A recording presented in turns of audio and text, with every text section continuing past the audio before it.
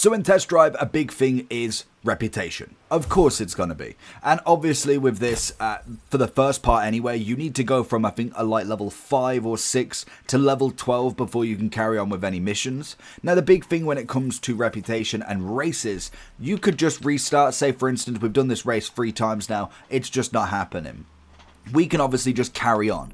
Or you can obviously go around and maybe that race isn't for me. If you do win a race, I believe it's around about two and a half thousand to be able to get that done. Or you obviously can get a little bit of reputation from drifting, from high speeds, and you will find it may not be crazy amounts, but you will get a little bit of something as you're driving through. And also there's going to be lots of collectibles and stuff that you can get as you continue your exploration of the lovely Test Drive Unlimited Solar Crown.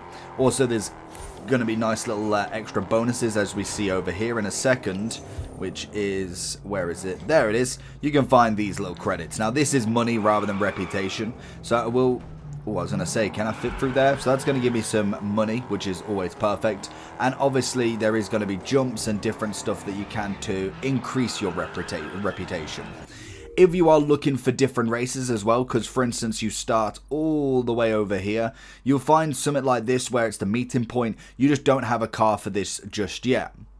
So if we continue down, as you kind of go through the places, you'll be able to see more and more stuff, more than likely around here. So for instance, for this one, we don't actually have a car that's uh, eligible for that. So you want to definitely go and have a look at that in general the time beaters is going to be quite a nice one as well.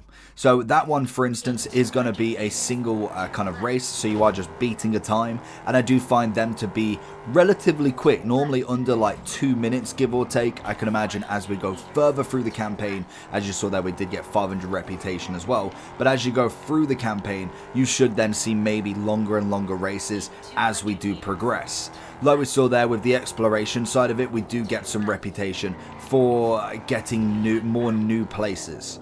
So when it comes to racing here, you'll obviously get some nice rep after finishing this and we hopefully will get the finishing spot to show you what the end category is like. So we've managed to win that one just, I think about 20 seconds to go as well to be fair. So with this, you do get a new record bonus as well if you do beat the record. So we get the race reward of 2,500 and another 250 for the record as well. If I was to repeat this and beat my record again, you do get the 250. If you don't, then obviously you just get the 2,500.